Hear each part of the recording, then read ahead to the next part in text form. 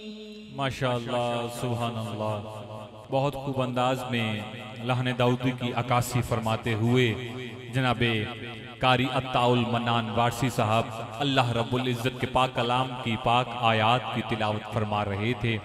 फ़बी अजी आला रब्बी कुमा तुकज़िबान तुम अपने रब की कौन कौन सी नेमत को जुठलाओगे?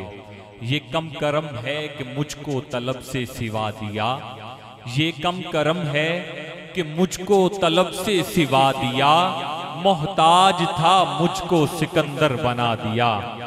ये कम करम है कि मुझको तलब से सिवा दिया, मोहताज था मुझको सिकंदर बना दिया। करम ये भी कम नहीं जाते करीम का, करम ये भी कम नहीं जाते करीम का। मुझको दरे हबीब का ममता बना दिया, मुझको दरे हबीब का मंगता बना दिया। अल्लाह रब्बुल इज़्ज़त का एहसान अजीम कि उसकी दी हुई तोफ़ी के खास के साथ हम नूर अला नूर आका के ज़िक्र की इस हसीन महफिल पाक का अहतमाम किए हुए हैं। मैं एक मरतबा फिर आने वाले तमामी मुआज़ मेहमानों को जनाब इज़्ज़त माप ताहिर खुर्शीद साहब की जानब से दिल की अथा गहराइयों से खुश आमदेद का नजराना पेश करता हूँ। अल्लाह पाक सबका आना अपने अली जनाब कबूल मंजूर फरमाए। जैसा कि आप सबको मालूम है कि आज का ये प्रोग्राम बड़ा मुख्तर सा प्रोग्राम है।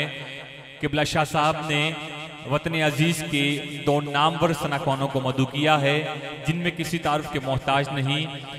अलहाज कारी शाहिद महमूद कादरी साहब और अरसदराज से नात के हवाले से अपनी पहचान रखने वाले जनाब प्रोफेसर अलहाज प्रोफेसर रऊफ अहमद रूफी साहब, बारगाह रिसालत माब सल्लल्लाहु अलैहि वसल्लम ने हदिया अकीदत पेश फरमाएँगे।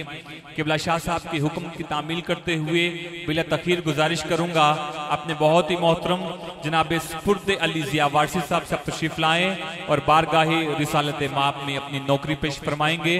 जनाब मोहतरम स्पुर्द अली जिया वारसी साहब तशरीफ़ लाते हैं और बारगाह सरवर कौनैन में हदिया अकीदत पेश फरमाते हैं।